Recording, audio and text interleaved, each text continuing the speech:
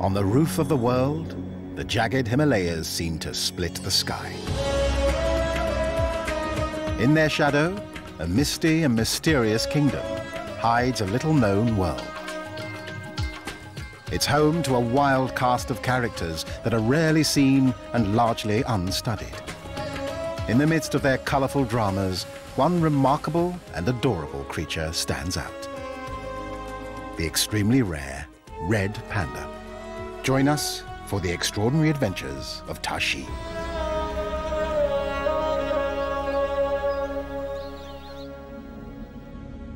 Nowhere on Earth is the clash of continents more dramatic than in the Himalayas, where India smashes into Asia, thrusting up the highest mountain range on Earth.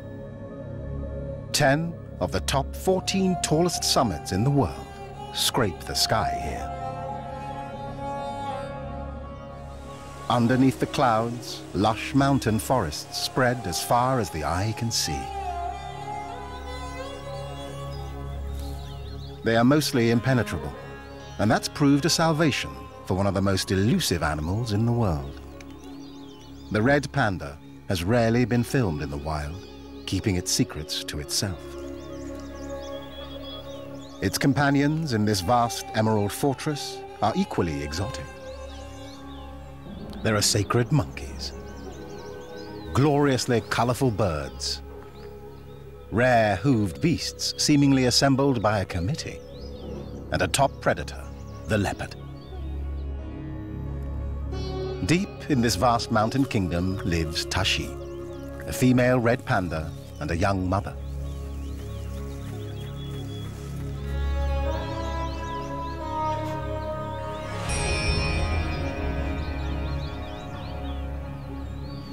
Tashi lives in the shadow of the Kanchenjunga, a sacred icy mountain.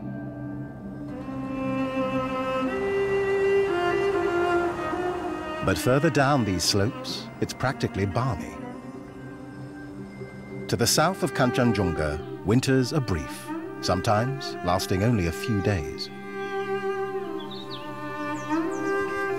With her luxuriant cinnamon fur, Tashi barely registers the snow She's fixated on the nutrient-poor bamboo that she must eat and eat and eat. She has an admirer. He chirps out a love song. It's December, the start of the mating season. Perhaps distracted by the male, Tashi slips from the bamboo and decides to move off. Looks like he's got his heart set on her, though and is soon hot on her trail.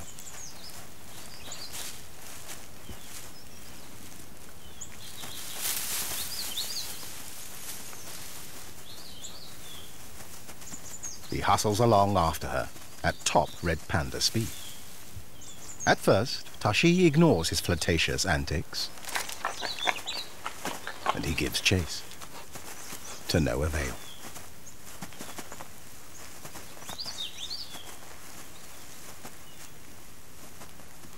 Rebuffed for the moment, he sets about marking the area, hoping his seductive scent will win her over. She tolerates his presence, but soon she's all about the bamboo again. Endearingly, he waves, as if flexing his muscles to impress.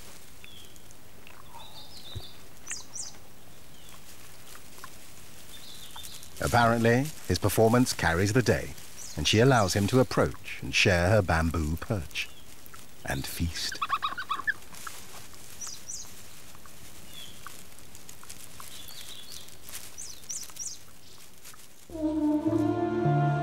At almost 28,000 feet, Chile Kanchenjunga is the third highest mountain in the world. At lower elevations, though, winter is banished as quickly as it arrives in the dense forests, home to thousands of plant species, rhododendron woods, and undergrowth packed with all-important bamboo. Everything about Tashi is built for bamboo. In Nepali, her species name, Ponja, means bamboo eater. And from Ponja comes the name, panda. The red panda, also known as the lesser panda, was discovered in 1825, 50 years before her more famous namesake, the black and white giant panda. One thing the red panda has in common with the giant panda, however, is its obsession with bamboo. Since bamboo is so tough and low in nutrients, Tashi has to eat continuously, consuming a third of her body weight every day. When she's not eating, she's a champion napper. Red pandas are the sloths of the Himalayas. Tashi's home lies on the border between Nepal and the Indian state of Sikkim, where people have eked out a living for thousands of years. This is Buddhist country, and prayer flags flutter everywhere. The Buddhists believe in reincarnation, and this imbues them with a deep respect for all forms of life, including the panda. But while men, their cattle, and the Himalayan wildlife have long coexisted peacefully. Now human population growth presses deeper into the panda's forest, claiming more and more resources. And it's not known if this will put extra stress on Tashi, especially as an expectant mother. February ushers in the glories of spring. Cobra lilies emerge and grab at sunlight.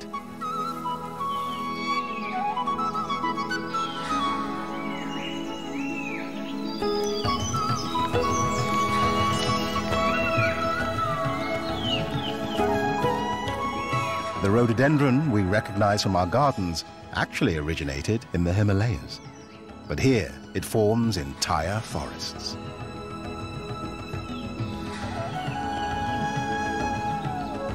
This rufous sibia sips sweet nectar and inadvertently carries pollen from bloom to bloom.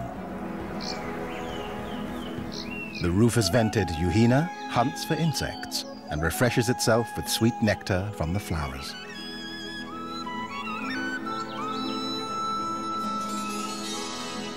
Pink blossoms rain down to the forest floor, the signature of hungry squirrels above.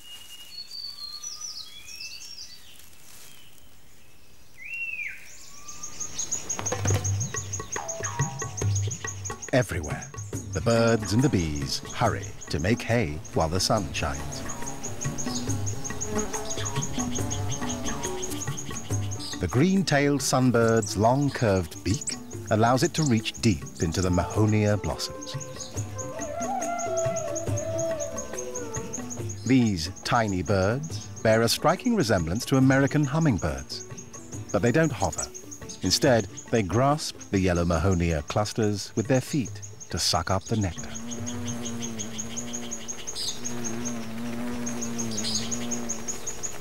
They are barely double the size of the bumblebee.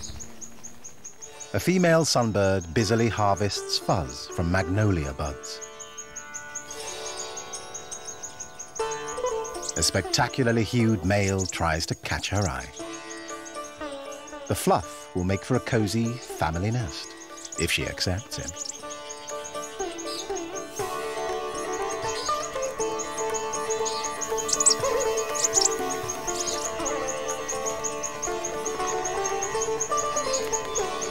In April, Tashi becomes restless. She's as agile as a feline moving from branch to branch, earning the nickname Cat Bear. But she's neither cat, nor bear, nor raccoon. In fact, red pandas even form their own family within the animal kingdom. It's high time Tashi found a suitable nursery, and she scours the forest for the perfect real estate for a single mother and baby. It needs to be snug, well hidden, easy to defend. Her ideal hideaway, a hollow tree trunk, eludes her. Her search could take weeks.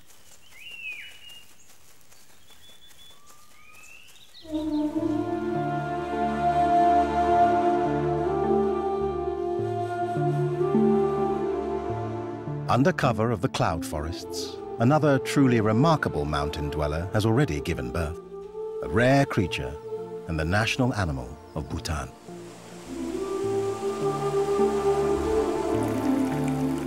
It's the bizarre-looking takin, with a moose-like head, wildebeest-like horns, and the massive shoulders of a bison. The bulky takin may look out of place among the rocks and cliffs, but is actually nimble and quite at home here. The calves are only about three weeks old, but they are already sure-footed on the rocky terrain as they follow their mothers up the steepest slopes.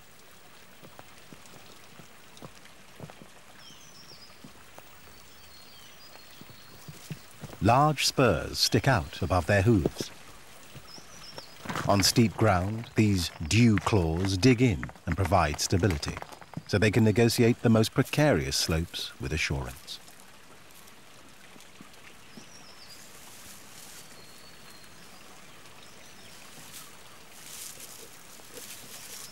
Takins are noted for eating almost any vegetation they can get their mouths on.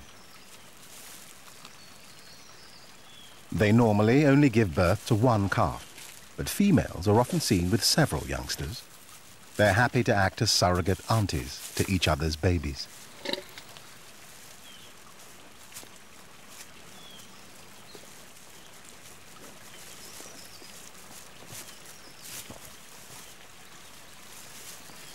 After two months, the little ones are still getting most of their nutrition from their mother's rich milk. They won't be weaned for nine months.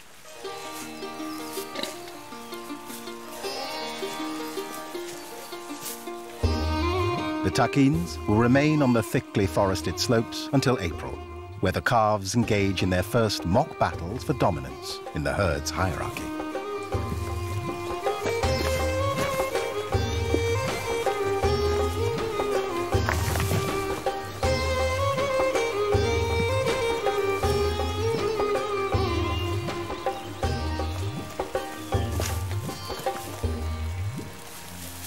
Predators have little chance against these expert climbers. Armed with tempers as fierce as their backwards curving horns, the adults have few enemies. A Himalayan black bear, nonetheless, keeps a lookout for a stray calf. But the youngsters are well guarded by a fortress of adults.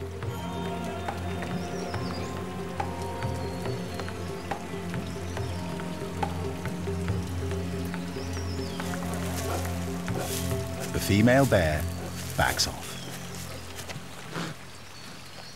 taking her cub in search of a less intimidating meal.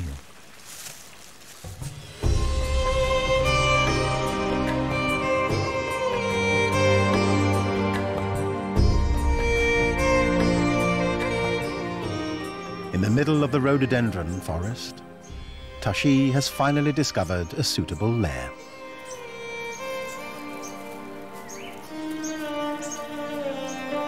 It is high time, as her baby is due any day now. Tashi is as obsessive as any mum when it comes to the nursery. She checks for signs of unwanted visitors. Another panda may have tried to stake a claim here. Worse, a predator might have scoped out the little nursery. Tashi checks things out with her nose and with a special sensory organ under her tongue.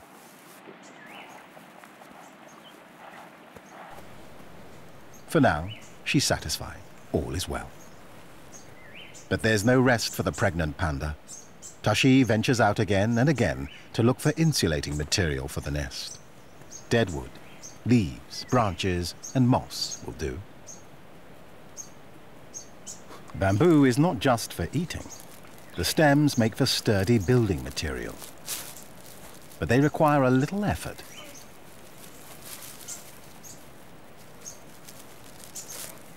With teeth and skillful paws, she patiently shaped the bamboo to the perfect size.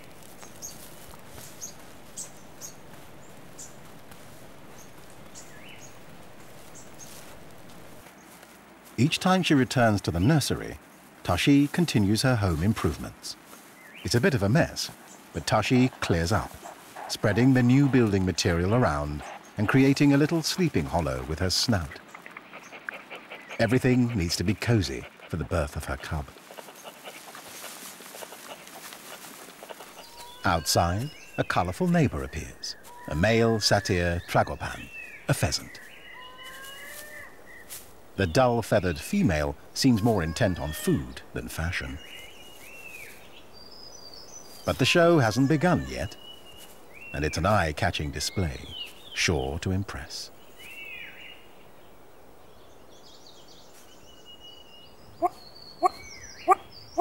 He starts with a love chant, then plumps up his feathers to magnify his size.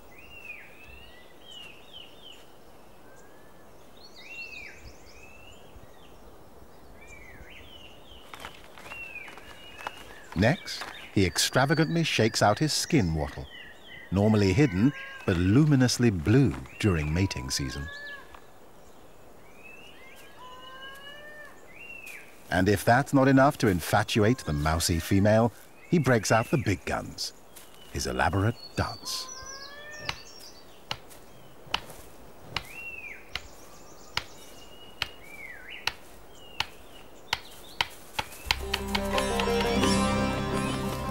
Nearby, others flaunt their colors. Two Himalayan monals fight raucously over a territory.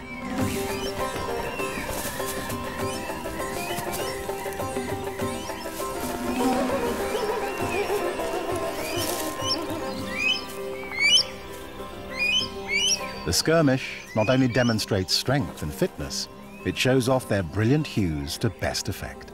The changing light makes the plumage dance like the colors of the rainbows that glow at the countless mountain waterfalls.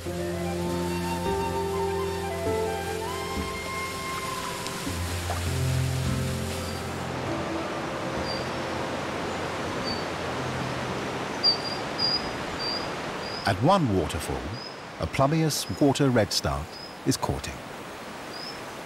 From his rocky stage, he flits and twirls.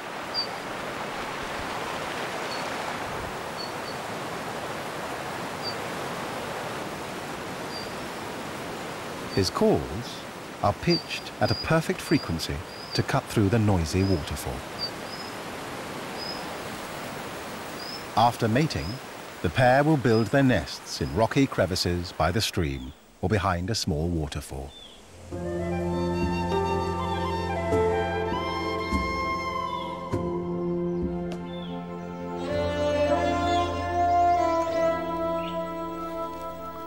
Tashi is only days away from giving birth, and her signature grace in the trees becomes more lumbering. She's been pregnant for about five months and eating for two.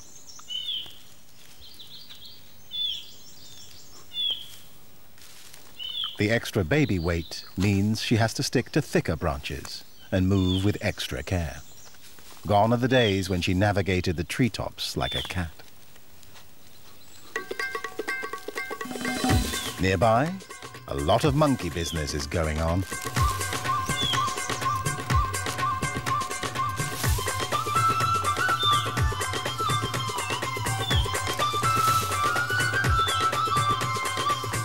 These grey langurs have reason to celebrate. The magnolia trees are blossoming, a once-a-year treat. The petals make a sweet spring salad.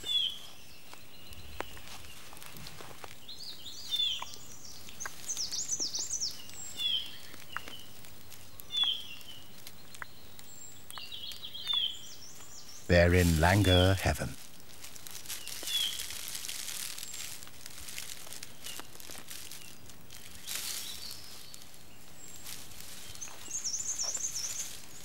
Normally, the langurs eat mostly leaves, so these fresh flowers provide extra nutrients and energy. The magnolias are in bloom for just two weeks, and the monkeys make the most of them, rubbing full and contented bellies.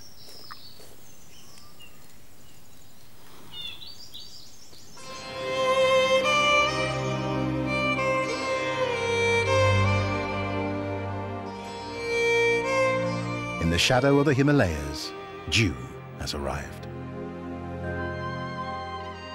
And something wonderful has arrived with it. Tashi's baby. Normally, red pandas give birth to twins, and occasionally up to three cubs. But Tashi has had a single baby, a little girl. In the first few days, Tashi has hardly left the hollow. But now she goes out on regular forays for new twigs to pad things out.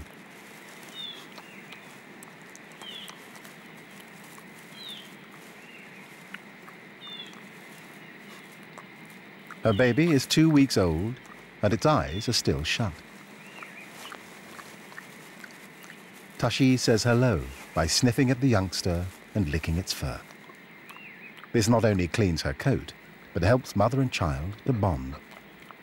Only in a special filming burrow can we capture intimate details like this.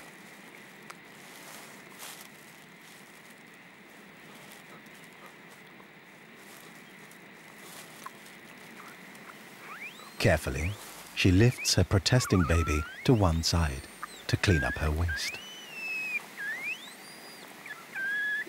The young mother also regularly licks the den clean, so would-be predators can't smell it.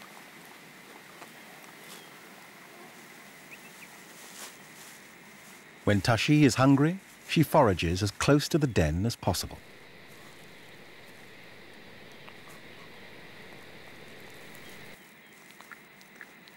When it's not suckling, the little cub is sleeping, and apparently dreaming of warm milk.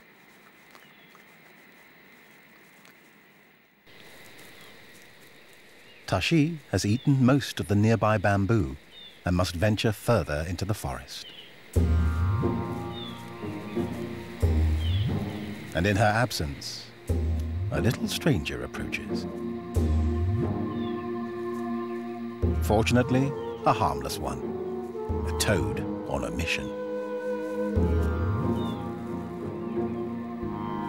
The dreaming cub doesn't even register its presence.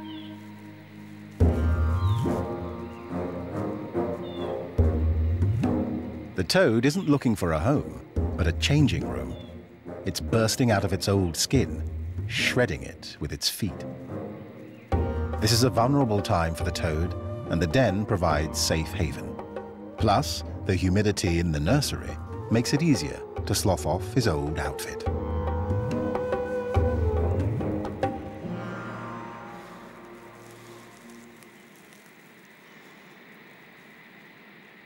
Freshly attired, the toad heads for the exit.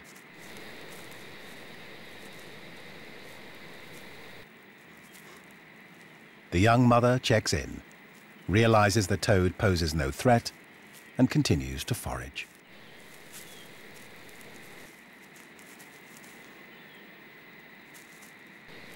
Tashi now senses a change in the weather, a big one. By late June, the monsoon season has arrived. Massive clouds, pregnant with moisture from the Indian Ocean, accumulate over the Himalayas.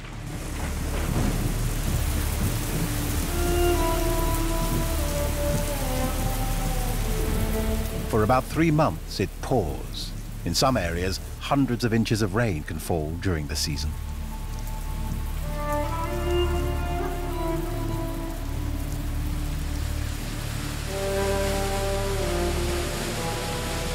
Unimaginable amounts of water cascade down from the roof of the world.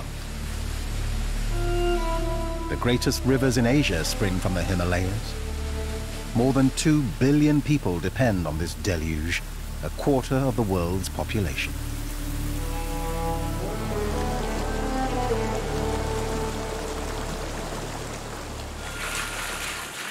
Little mills along the streams continuously turn Buddhist prayer wheels.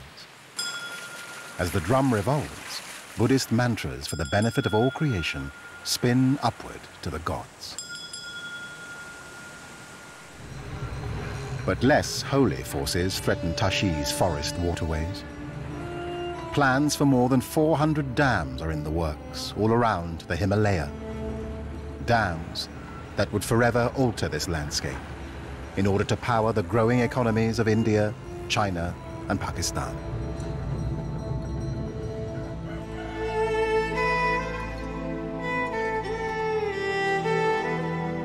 The Buddhist belief that all nature and all creatures are sacred has run up against the inexorable march of population and progress.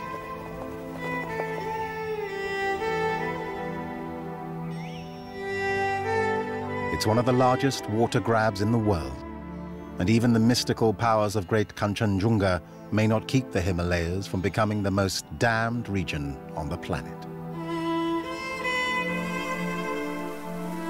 Next to rain-soaked prayer flags, a group of grey langurs patiently endures the monsoon. Close relatives of these langurs live as temple monkeys in much warmer regions of India. Here, the mountain langurs need a thick coat to keep the cold at bay. And that coat needs careful maintenance, with a little help from your friends.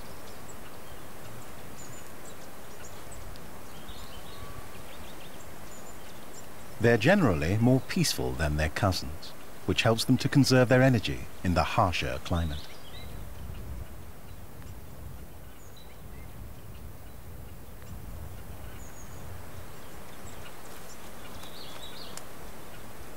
Langur females form close-knit groups, cheerfully babysitting each other's young.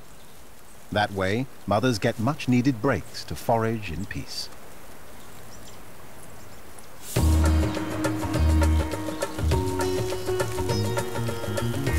The monsoon certainly hasn't dampened the spirits of the youngest langurs, for whom the forest is a perfect gymnasium. They tussle and tumble, they lunge and leap. They even do cartwheels.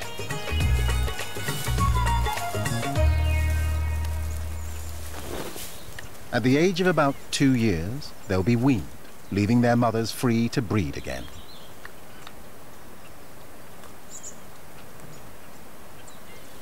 Deprived of mother's milk, the older juveniles have to make do with a bland, leafy diet.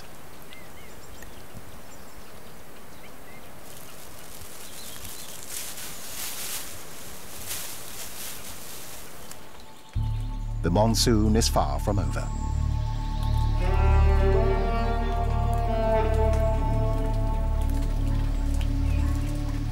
But thanks to her fur, with its long guard hair and thick undercoat, Tashi shakes off the cold and damp with ease. For her little girl, snug in the nursery, the monsoon may as well not exist.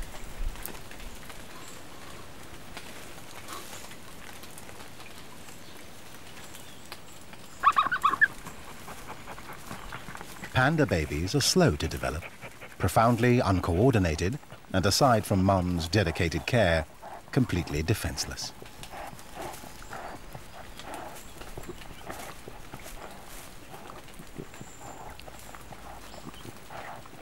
Nearby, a red panda's worst nightmare lurks.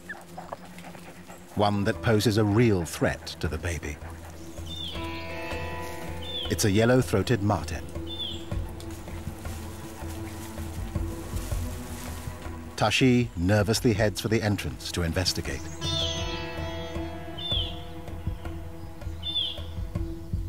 She wouldn't stand a chance against the completely fearless predator.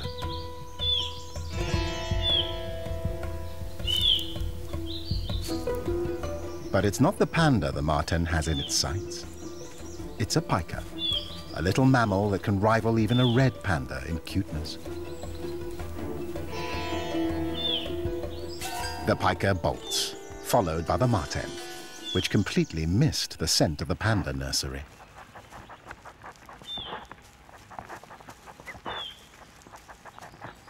Tashi's obsessive homemaking has saved the day. The cub is now four weeks old.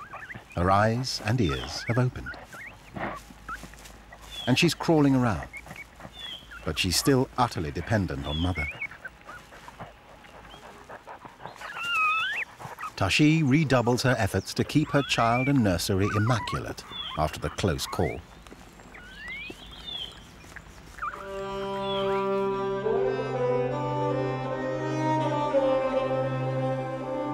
Tashi's human neighbors farm and raise livestock at the foot of the sacred mountain. Monsoon season is also leech season. The bloodsuckers are only active in summer when it's humid and become the bane of domestic animals that roam the pastures of the bamboo forest. The leeches clamber onto leaves to await their victims. They're surprisingly agile, using their suckers to move. When livestock arrives in the forest, the leeches make the leap from leaf to victim. They inject an anticoagulant before they start feasting on the blood. Most of the time, the animals don't even know they're there. But gold-billed magpies know and become the livestock's unlikely allies, plucking the parasites from their fur. Normally, the birds feed on large insects. But plump leeches are a nutrient-rich treat for them.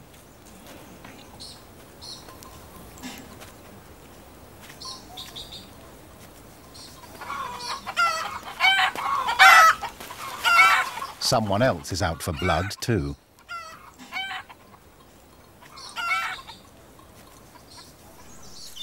The yellow-throated marten has caught a chicken in the village and lugs it home.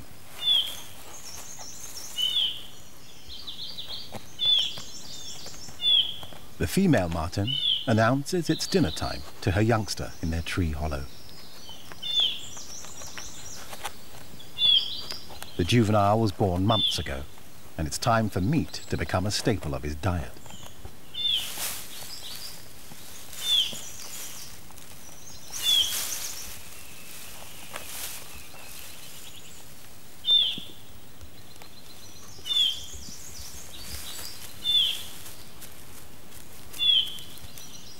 The parents are ready to tuck into the chicken, thanks to father's hunting prowess. It's a bountiful meal for a family of three. But where's that juvenile? Of course, being delinquent, he's decided this is playtime, not time for a formal meal. His mother seems to be torn between her child and the chicken.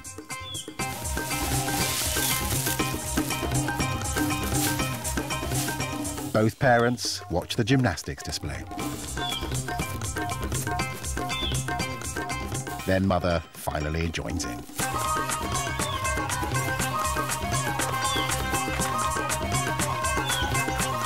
Play strengthens their bond, vital for future hunting trips.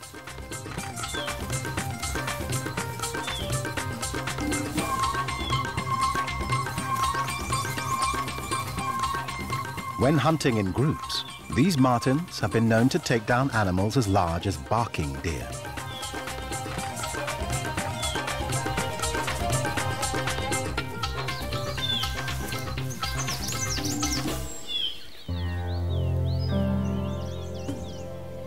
Underfoot, another extremely secretive and agile animal calls the bamboo forest home.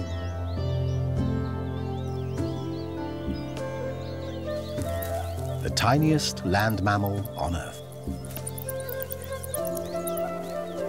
Etruscan shrews are much smaller than your little finger, barely one and a half inches, and weigh just a sliver of an ounce.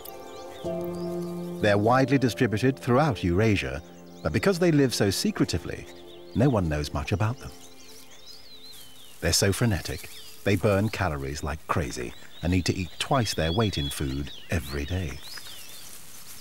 Their hearts beat up to 1,500 times per minute. The nearsighted little shrews navigate mostly by touch, helped by long whiskers and special sensory hairs on their legs and tail. Don't let their size fool you, though. They're fierce little hunters.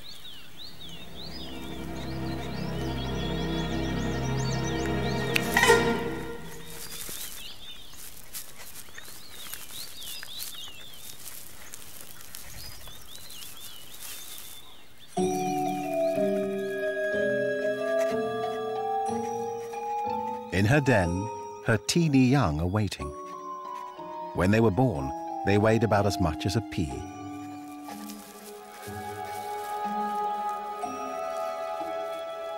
The mother suckles the minuscule creatures for 20 days.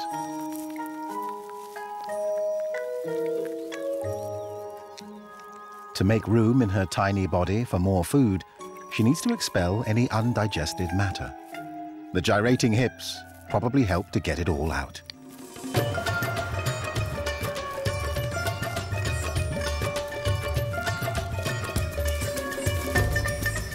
The frenzied mother is constantly relocating her tiny babies by caravanning within the den. Perhaps for protection from predators, perhaps to teach them the ins and outs of their nest. The youngsters bite into the base of the tail of the sibling in front of them, and the mother simply tows her family around the nursery.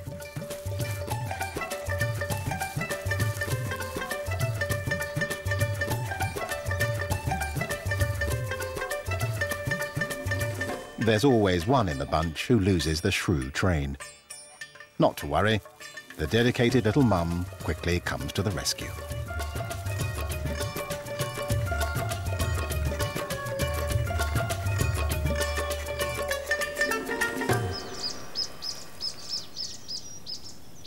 Tashi has grown a bit bored with bamboo and is looking for a change.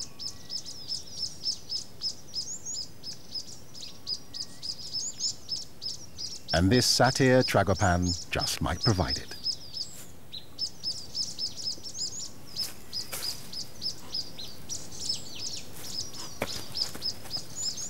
All other pheasants breed on the ground.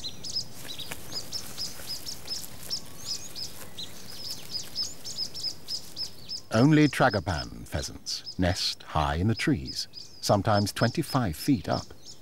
Few humans have ever laid eyes on these hidden nests.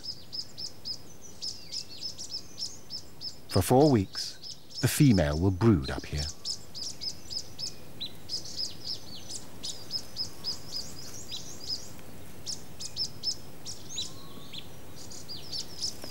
Even so, she has to leave the eggs from time to time.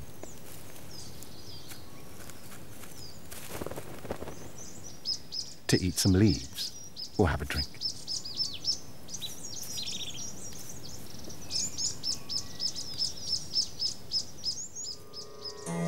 Tashi seizes the moment.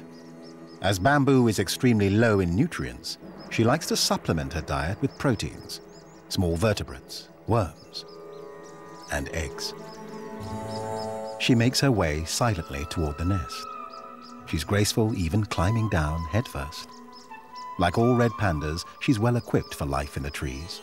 Strong, sharp claws allow her a tight grip on the bark. The hairy soles of her feet give her more traction when it's wet. But it's all for naught. The hen appears in the nick of time and her brood is safe.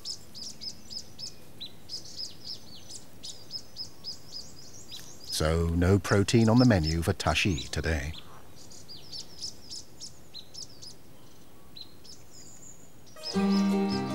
Not far off, another tragopan pheasant and her chicks inspect the forest floor.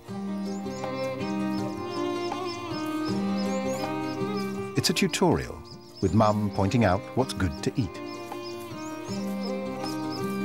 They're quick learners and deft peckers, even at this young age.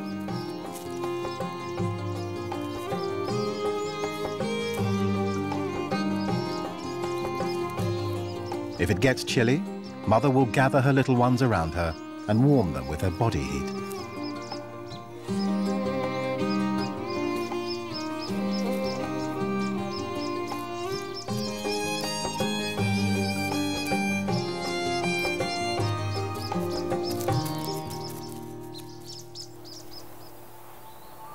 Finally, September arrives, and the heavy clouds begin to disperse.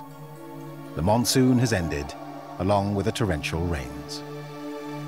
A beautiful autumn moves in under the roof of the world.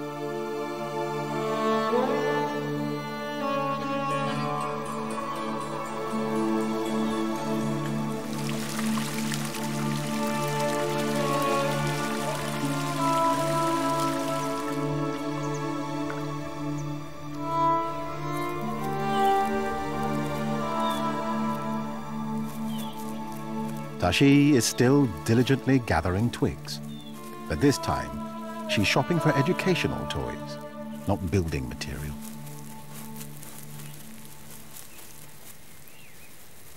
She takes these home to her growing daughter to play with.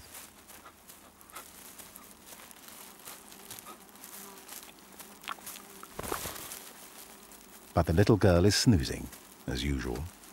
So mother leaves her presents and heads out for more.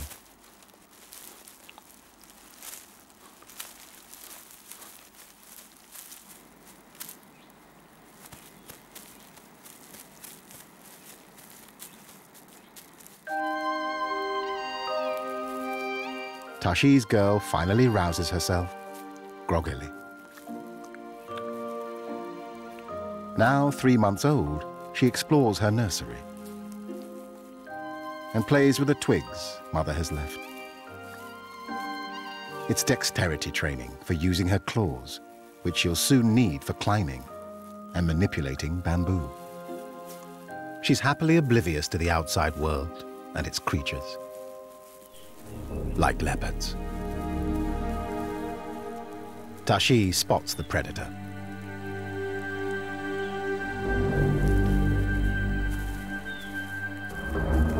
and heads for the treetops.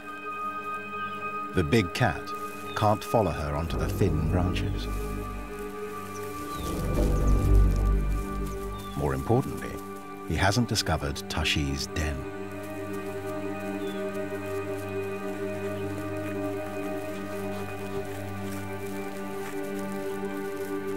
Only when the coast is clear does Tashi head for home. She's made a decision. The old nursery location is no longer safe. It's time to move house.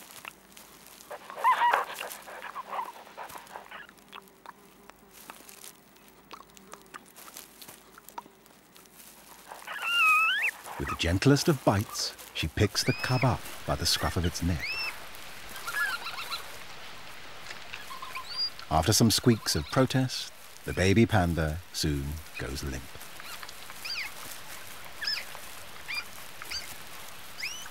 Paralyzed but comfortable, the little one becomes a perfectly portable package.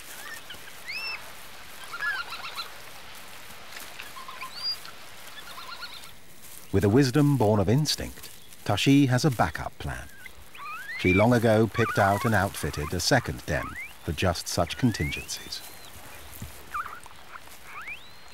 The little cub soon settles down after the stress of the move, a little cuddle and her tiny world is back in order.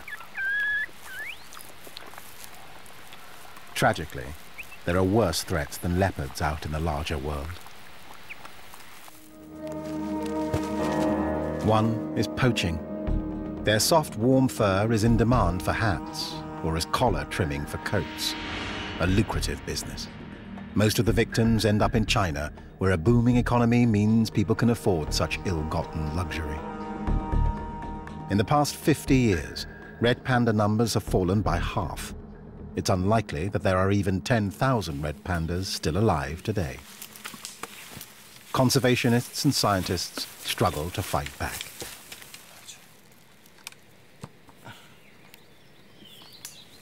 They install camera traps in places where the pandas regularly visit. Panda toilets. The fastidious creatures like to do their business in the same place away from their lairs. Camera traps help researchers survey the number of animals in the area, and the photos also help them catch poachers red-handed. But even poaching pales beside the greatest threat of all, deforestation and the fragmentation of mountain forest habitats. The growing human population fuels a voracious demand for firewood and construction material. There is hope. In some places, vast tracts of mountain forest areas remain pristine. Autumn brings a bit of variety to the menus of the mountain forest inhabitants.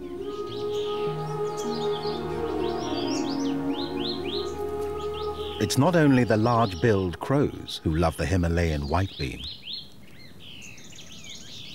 Tashi also craves them. a refreshing change from tough bamboo.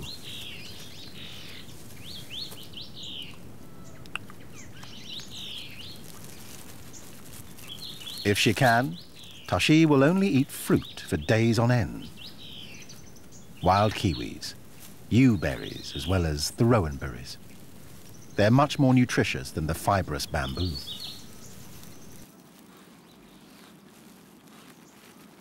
The cub is now over three months old and still fond of napping above all else. But mother has other ideas. It's time for the cub's first adventure outside the lair.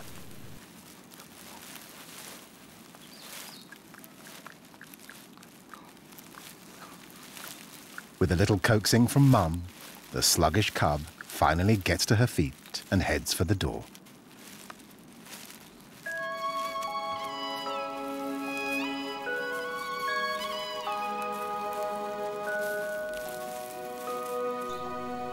It's a brave new world, full of things to experience for the first time.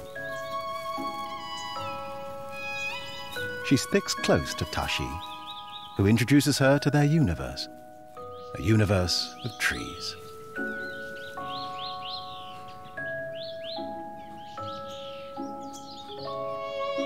It's a little disorienting up here.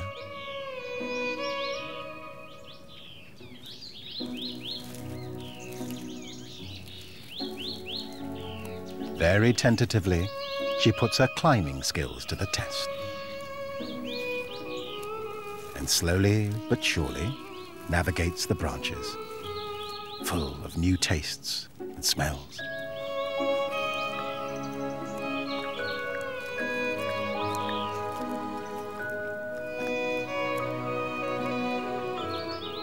Tashi shows her where the best foraging is.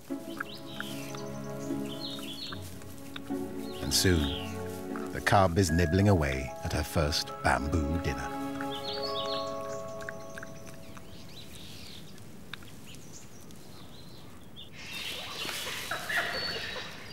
Noisy neighbors interrupt their bamboo reverie. Assam macaques. Adult males can be up to two or three times the weight of a fully grown red panda. These macaques are usually herbivores, but they've been known to hunt and eat meat. Right now, fortunately, they show no interest in the newcomer in the treetops. They'd rather squabble and screech.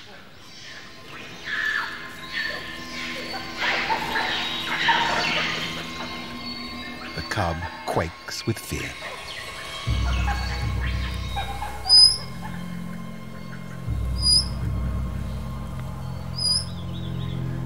Tashi decides that's enough adventure for one day. Together, they pick their way back to the den.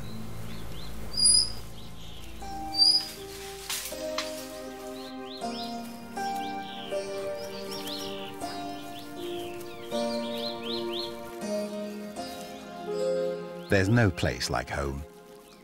In the familiar confines of the lair, snuggling with her mother, the cub quickly calms down after the excitement of her first outing. On the other hand, she's had a first taste of the dangers the forest may hold.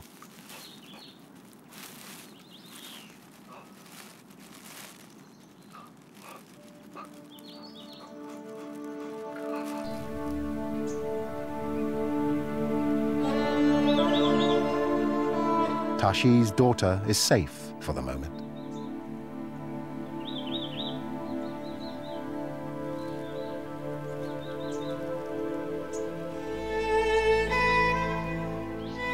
The little panda will stay with her mother for another two or three months. Then she'll have to fend for herself. And one day become a single mother like Tashi, another gorgeous red ghost in the shadow of the Himalayas.